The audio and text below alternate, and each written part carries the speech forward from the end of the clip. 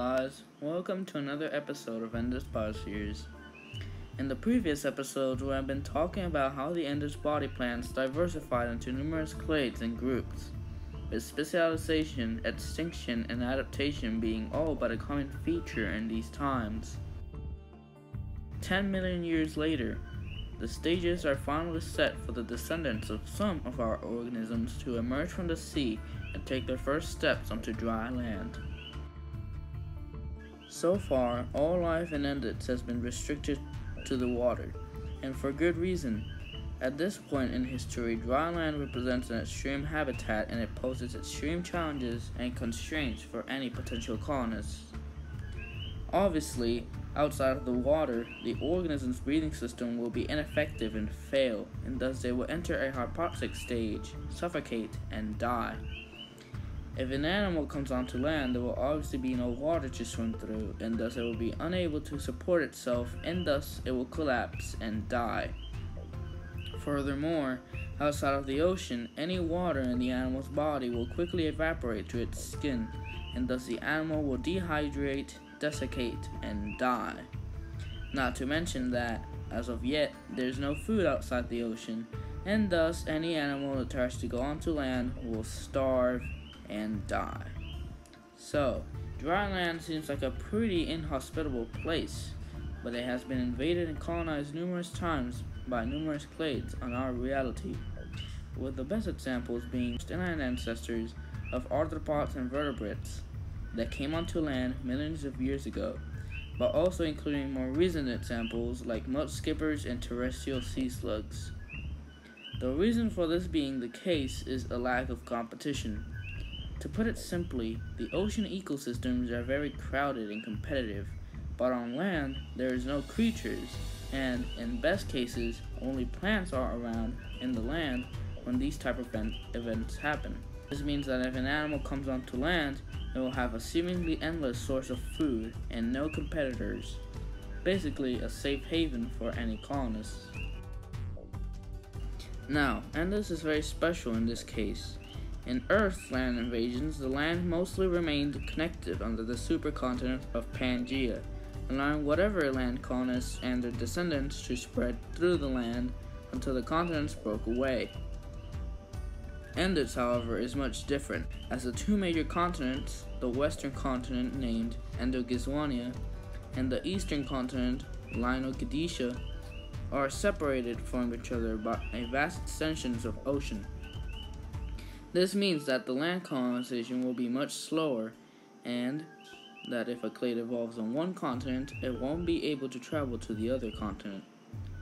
In Endux, two land clades will evolve on each continent, and the western one being a descendant of the freshwater Multisegmentis, and in the other one, the eastern continent, being a descendant of the freshwater Aequilopods.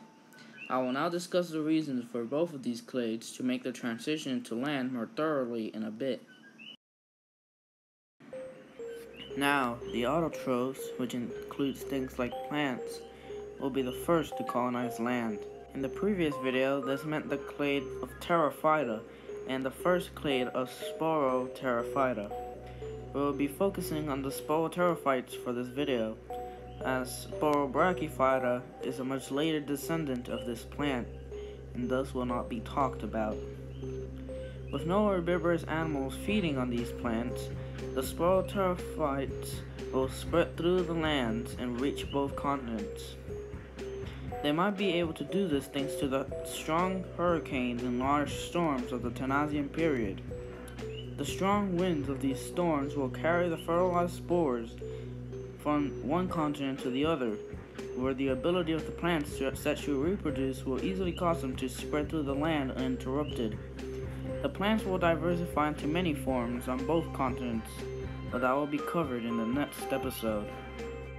With the plants being on land now, any colonists will now go beyond the tides and the water mark. Previously, any land-living life forms would be locked out of the water for food, but now this won't be an issue. The worldwide spreading of these plants will incentivize many animals to go out of the water and take the first steps onto dry land. The omnivorous Multisegmentis will be the first to colonize land.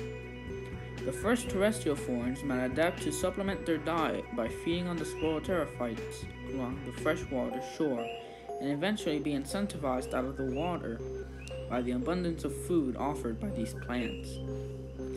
The early transitional forms might have had to return to the water to prevent desiccation. In particular, the eggs and gills of the multisegmentals might present a problem. The gills are extremely prone to drying out, while the eggs themselves would easily desiccate out of the water. The gills themselves might be withdrawn into the body, initially being hidden from view and not used, and eventually being absorbed into an isolated pocket inside the body, creating a lung. These lungs that are seen in most segments of the animal might be similar to the book lungs of Earth's arthropods. The air would pass into the lungs through spiracles, which might be found as holes on the side of all the segments except for the tail, head, and reproductive segment. And the already existing heart will fuse with the muscles in the side of the lungs, making it much more effective for pumping. This system of breathing would be passive respiration, where the air would pass and diffuse into the lungs rather than actively being inhaled and exhaled out. This system is used by various forms of Earth's terrestrial arthropods, since this form of breathing relies on a constant flow of oxygen-rich air being flown into the lungs. The size of these critters will be determined in proportional to the amount of atmospheric oxygen throughout the timeline of Endux, aka the less oxygen available, the less energy they'll have to maintain their growth, and thus they will have a size limit they can reach before their volume becomes too much to sustain. This is also known as the square cube law, and it might be mentioned in other videos. This is the reason why arthropods on Earth don't get larger than a few kilograms at most, as they rely on a very similar system. The proliferation of the land plants will still allow them to reach some size, and their locomotion will also be of help. As the multi-segmental ancestors of this terrestrial clade were already pre-adapted to land locomotion, the locomotion of the land forms might be different internally, however. Rather than just relying on this exoskeleton and leg muscles to move, this terrestrial clade might have a sophisticated system of hydraulic movement inside its legs, similar to spiders today as they use a system of hydrostatic fluid, also known as a hemolymph, composed by blood, to inflate the leg and expand it, which allows it to extend outward, while some leg muscles will move the leg into a certain direction or position. This will cause the exoskeleton part of the leg to become much lighter and more nimble to allow this system to work. The exoskeleton of these terrestrial forms might be made of a chitin analog rather than minerals, so it would be unfeasible to form such a shell on land. And the numerous groups of arthropods that have colonized land numerous times on Earth lost the mineral component of their shell as well. The structural support of these organisms, aside from their exoskeletons, might be their light but yet stiff gladius, which in these forms has become a little bit reduced, but is still a very flexible and hard structure. Their skin might also become very thick and waterproof. And as for reproduction, I mentioned previously that the eggs of these forms are extremely prone to desiccation, and so the clade might evolve something new to contend with this. The male will transfer the gametes into the female, and the eggs will be protected inside the female's body, via a system of internal reproduction until they're ready to be laid. Females of Multisegmentis lay multiple eggs in a single batch, and this might be adapted to form an ootheca, a leathery structure with a lot of eggs inside of it. This ootheca will allow oxygen to diffuse through the membrane, inside of it is already pretty much filled with water, so the hundreds of eggs will not desiccate. Once the hundreds of eggs hatch and burst out, the juveniles will eat away at the leathery ootheca, serving as their first meal. The ootheca of the early forms might be laid in small bodies of water like ponds, bogs, and tide pools, while the later terrestrial forms might lay their eggs in nests made by the female, which will probably be located under a shadowy area on the side of a mountain or hill and be surrounded in things like dirt, parks, and twigs of plants. Meanwhile, the mechanoreceptors on the base of the pedipalps of these creatures might become the first hearing system, consisting of an eardrum and some passages to, that connect to it, allowing them to perceive the sound. Their mechanoreceptors might also shrink and become hair cells similar to that found in the ears of vertebrates.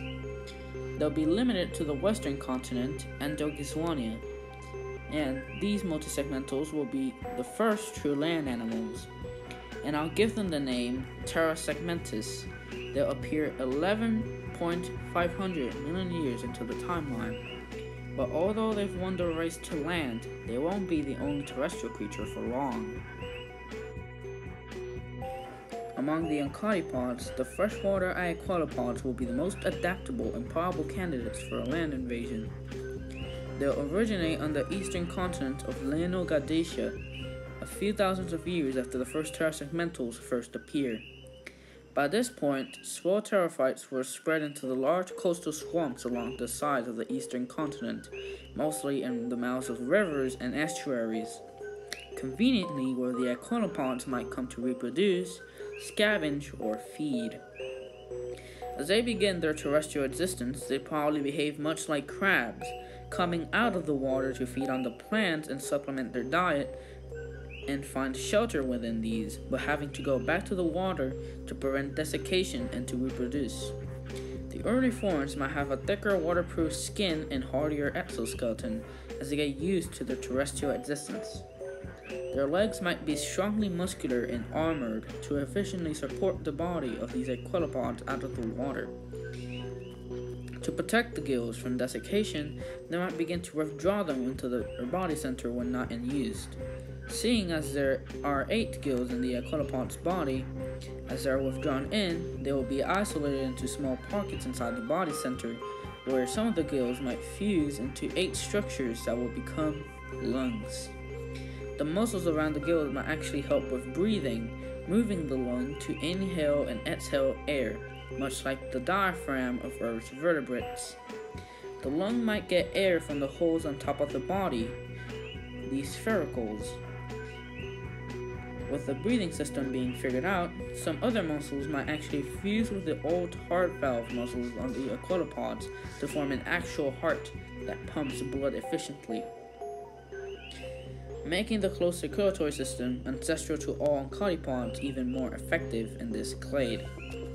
The feeding of these octogonozoans might diversify with the tentacles becoming very long, pincer-like extensions of the body with grabbing inserts that can grab food and pass it into the mouth. The beak will hang on and be held by a muscular arm, which might be very long and extensive as well, almost forming something very analogous to the trunk of an elephant. Some serrations might form on the beak that would fill a similar role to teeth. The mechanoreceptors that were once packed part of the legs of these animals might move into the underside of the body center, becoming hearing structures analogous to ears, with the mechanoreceptors once again forming into hair cells for hearing and the eardrum being present. There might also be a way for these octogonozoans to process all their metabolic waste. Having a liver like organ and eight nephridia, which would be analogous to kidneys, the exoskeleton of these forms might also be made out of a chitin analog rather than the old mineralized components, much like the terrasegmentals. These iaqualopods might also have to solve the issue of reproduction, seeing as their eggs are also very prone to desiccating. The eggs of these iaqualopods might involve a tough waterproof covering. The covering will allow oxygen to diffuse to the surface of the egg, allowing the young inside of it to be oxygenated before they hatch, much like the eggs of amniotes on Earth, but less advanced. These eggs might be laid in batches of dozens or hundreds of eggs, with their issue solved. These four terrestrial iaqualopods will be free to spread across the currently empty eastern continent. I'll call them Pulmonchodus, and they'll appear 12.1 million years into the time. Together with the pterophytes and terrasegmentals, These creatures will be the blueprint for innumerable land lineages to come, as well as the first of the land invasions of Endux. Yep, that's right, little friend. There will be more land invasions by Endux' farms, much like there have been multiple land invasions on Earth. Now, these three clades are all fully equipped to occupy the land they've adapted for and will become something greater. In the next episode, we'll be discussing the diversity and new clades that arise on dry land. Until next time, goodbye.